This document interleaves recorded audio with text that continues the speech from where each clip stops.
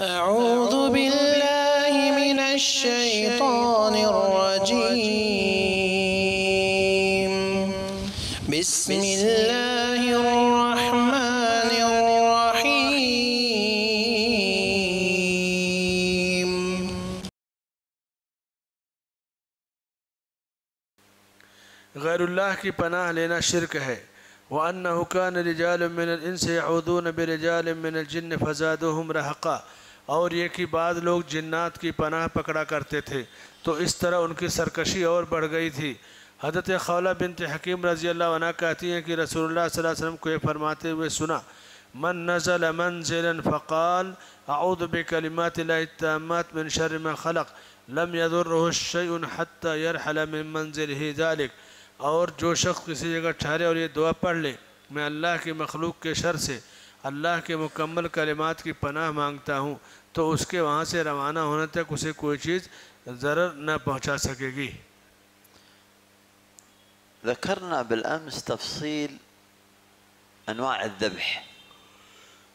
कल की गुफ्तगु में ज़बह की किस्मों की तफसील हमने बयान की थी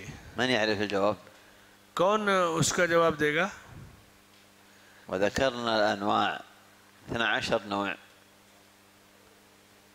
और हमने कम बेश बारह किस्में बयान की थी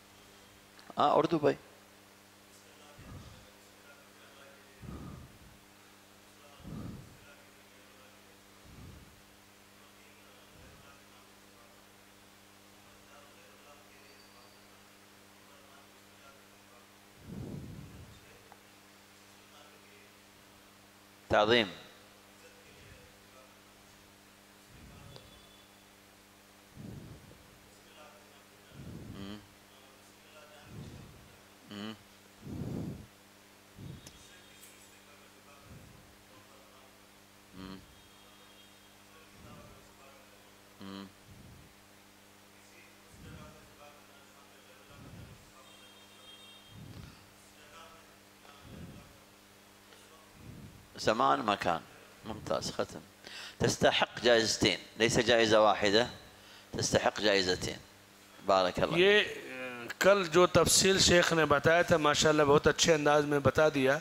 तो शेख ने कहा इन्हों डबल इनको इनाम मिल रहा है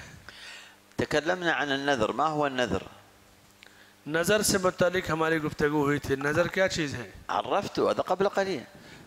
थोड़ी देर पहले अभी मैंने बताया है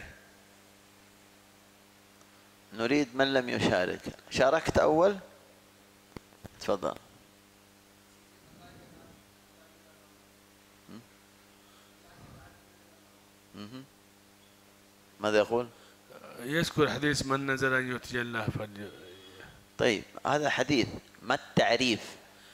नज़र की तारीफ क्या है नज़र किसे कहते हैं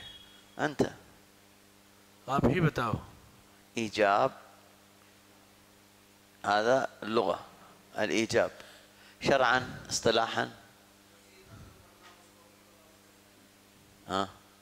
ऐसा ही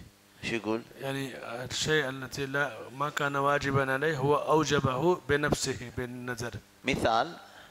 जैसे उसकी मिसाल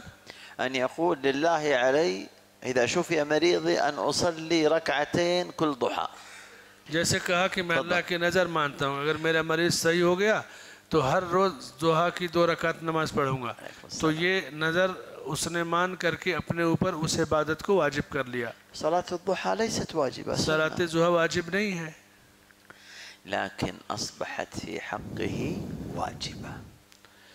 लेकिन उसने चूंकि खुद अपने ऊपर लाजिम किया है तो उसके लिए वो चीज़ वाजिब हो गई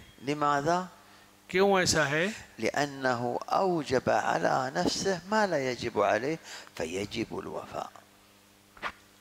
इसलिए कि उसने अपने ऊपर उस चीज़ को वाजिब कर लिया जो पहले से वाजिब नहीं थी तो ऐसी सूरत में उसका पूरा करना उसके लिए ज़रूरी है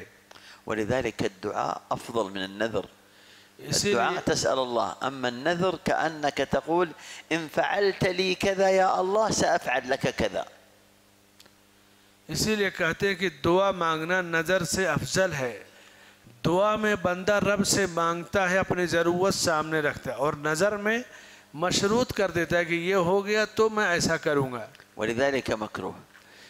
इसीलिए उसको नापसंद किया गया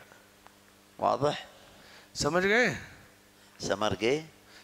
समझ गए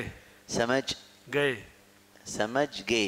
अयवा हल फहिम तुम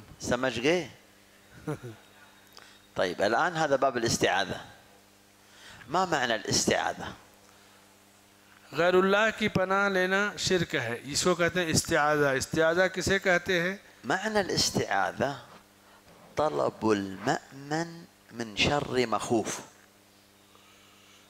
इस्तिआज़ा कहते हैं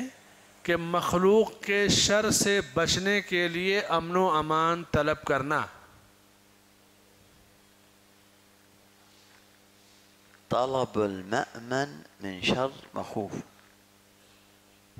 जो आदमी डरा रहा है उसके डराने वाले के शर से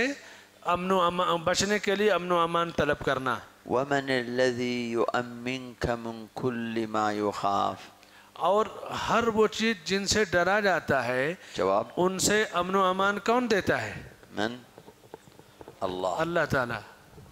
अल्लाह फ़कत सुबहाना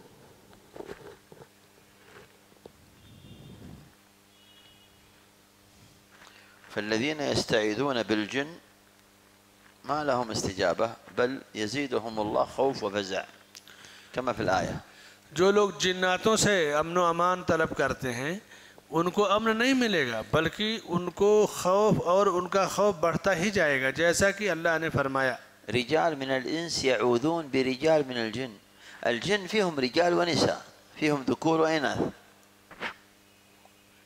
कि जिन्ना इंसानों की एक जमात जिन्नातों की पना उनसे अमान तलब करने लगी थी। तो उनके दिलों में और उनका जिन्नातों का डर बैठ गया। जिन्नातों में मर्द और औरतें दोनों होते हैं।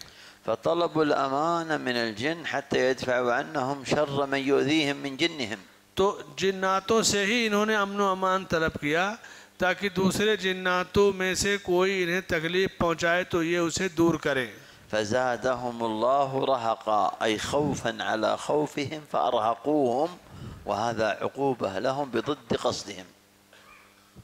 तो अल्लाह ताला ने इनके उस खौफ पर मज़ीद खौफ का इजाफा कर दिया खौफ अला खौफ हो गए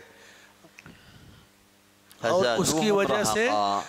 जिन्नातों की सरकशी और बढ़ गई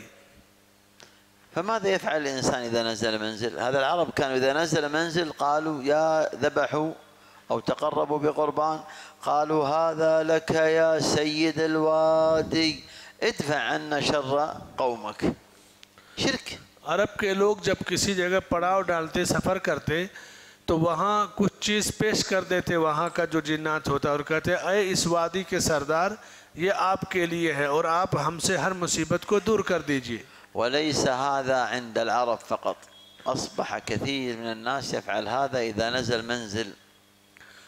और ये सिर्फ़ अरब के नज़दीक नहीं बल्कि बहुत सारे लोगों के पास दुनिया में ऐसा देखते होंगे किसी जगह जब उतरते हैं तो इसी तरह से मुसीबत को दूर करने का रास्ता अख्तियार करते हैं।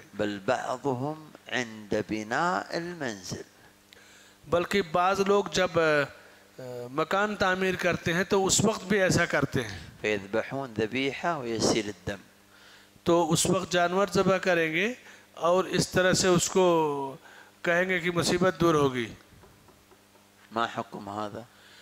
तो इस तरह ऐसा करने का क्या हुक्म है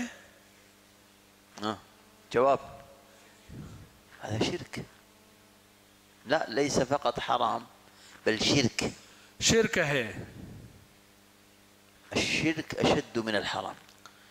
शिरक जो है हराम से ज़्यादा ख़तरनाक और सख्त है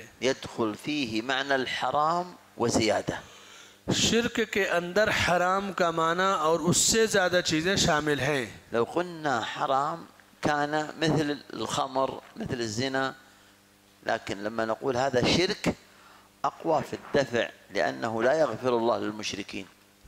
जब हमने हराम कहा तो उसमें अ, जैसे शराब और ये सब चीज़ें तो है ही ये दाखिल होंगी लेकिन जब शिरक कह दिया हमने तो शिरक में सारा हराम यूँ ही दाखिल हो जाएगा और हराम से बड़ा जुर्म शिरक है। हादा फ़ी मन नजल मंजिल। ये हर उस शख्स के बारे में है जो किसी जगह क़याम करे। फमा मंजिल मंजिल। किसी जगह आप उतरे या किसी जगह ठहरे तो उस वक्त सुन्नत क्या है? हादल हदीस। यही हदीस है। माह हादल हदीस? हदीस क्या है? अकला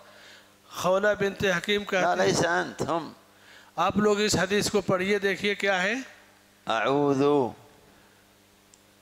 अऊदो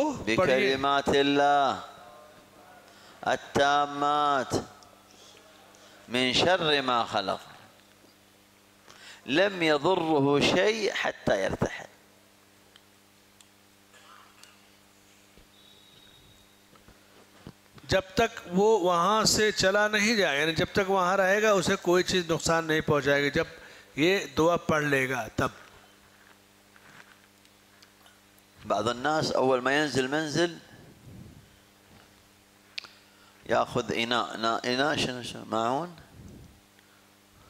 है ना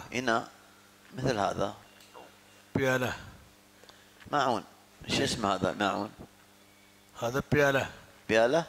है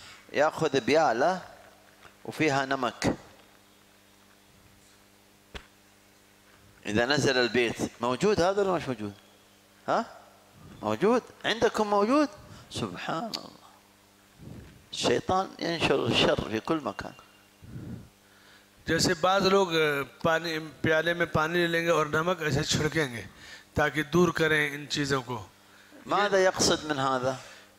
इससे क्या वो चाहता है क्या मकसद होता है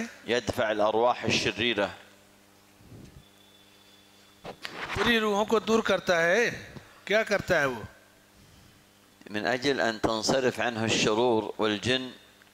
ऐसा वल-अज़ा। इसलिए ताकि जो बुरी चीज़ें हैं या जिन्नात है और तकलीफ देने वाली चीज़ें रू- दूर हो जाएं इसलिए करता है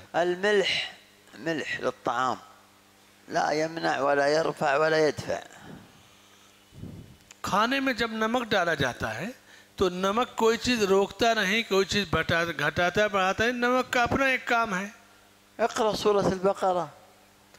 सूरह बकरा पढ़िए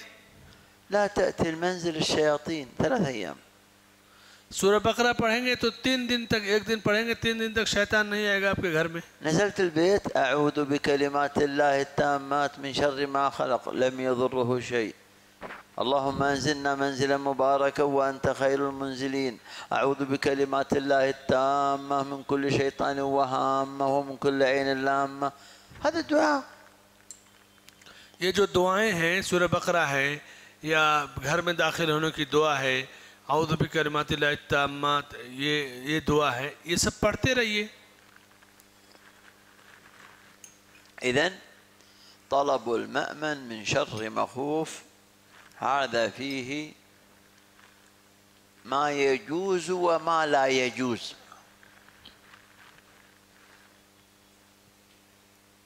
जो डरा रहा है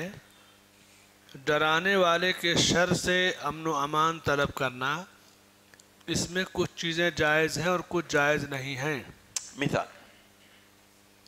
जैसे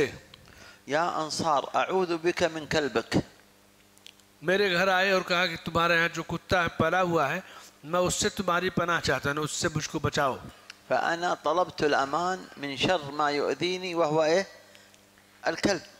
तो मैंने त- अमान मुझसे तलब किया कि मेरे पास जो कु- कुत्ता है कहीं काट न ले तो उससे कहा कि उससे मुझे बचाओ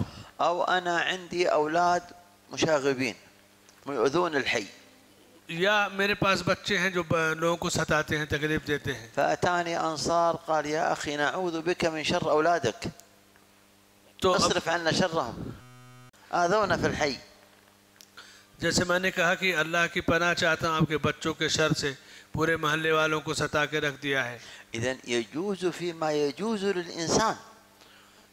तो ये चीज़ें एक इंसान का दूसरे इंसान से अमान तलब करना ये जायज़ है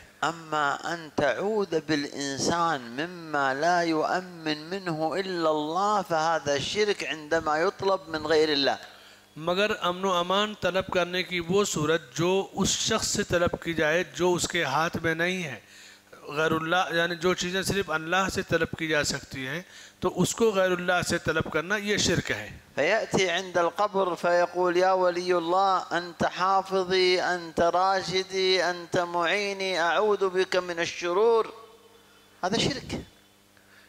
किसी वली की कब्र पर आए और कहे कि आप तो मेरे अ, जो है हिफाजत करने वाले हिदायत देने वाले फ़ला फ़ला हैं आप मैं मुझे बचाइए फ़ला चीज़ से तो ये शिरक है